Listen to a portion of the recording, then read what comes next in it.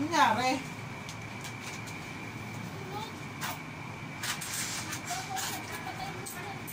Tiklap yung ano niya eh, di ba? Ito yun talaga. Sa baba. Kaya nga eh. Ito.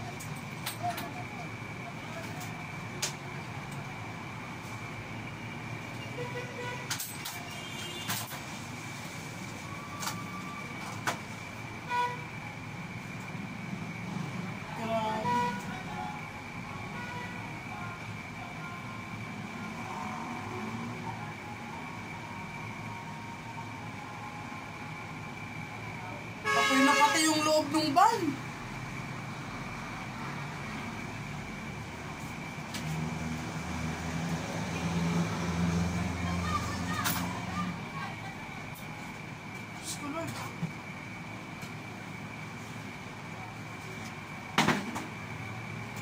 Hello. Grabe.